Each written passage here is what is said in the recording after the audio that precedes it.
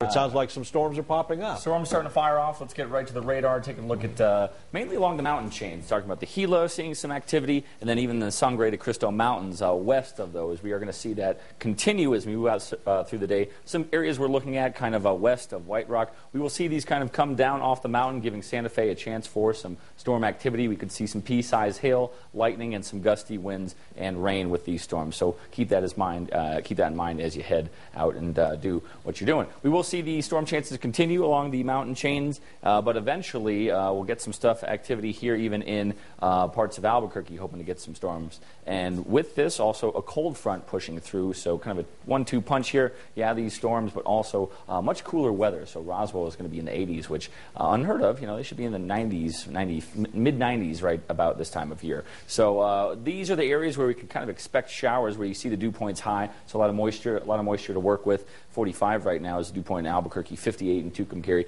Possibly a spot storm in the northwest, but not enough really to get a whole lot of rain going. So right now in the Duke City, 83 degrees, south southeasterly winds at 9 miles per hour. We won't be as breezy as we were yesterday. The canyon winds were really, really going, uh, almost a 50 mile per hour gust reported at the airport. 80 in Grant, 77 in Taos, 81 in Santa Fe, 83 in TRC, Silver City, 84. Still be a little warm in the southwest, but uh, mid 90s, nothing unbearable. In the northwestern part of the state, Farmington have a, a high of 93 today, 84 in Grants. Seven day forecast we'll have these storm chances hanging on, um, cooling down a little bit, but then we're going to get right back to these normal temperatures. We'll be in the mid 90s by the end of the week. In the southwest, 95 in TRC, 96 Las Cruces, Glenwood, 91, 87 in Silver City.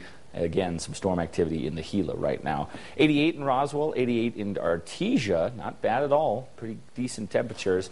Partly cloudy uh, today with a chance of some thunderstorms as well. You guys will stay cool for most of the week, but you'll get back to the 90s soon uh, by Saturday with a high of 95. Northeastern New Mexico, storms on tap, 70 in Morris, 78 in Las Vegas, Clayton, 86. Northern Mountains, you guys are experiencing some, experiencing some storms uh, as we speak. Espanola, 89, 83 in Santa Fe, 73 in Angel Fire. Here's the extended forecast for Santa Fe, uh, 79. That's it for you on Wednesday. Storm chances uh, not leaving us quite yet. We'll get back to the 80s and almost 90s toward the end of the week. East Mountains, we'll start to see some activity too. Edgewood, 71 for your high, 78 in Cedar Crest, 72 in Mountainair. And in the metro, we'll have a high of around 87 degrees, 88 in Belen and Los Lunas, and scattered storms mainly in the afternoon hours uh, once this stuff starts to work its way down from the mountain.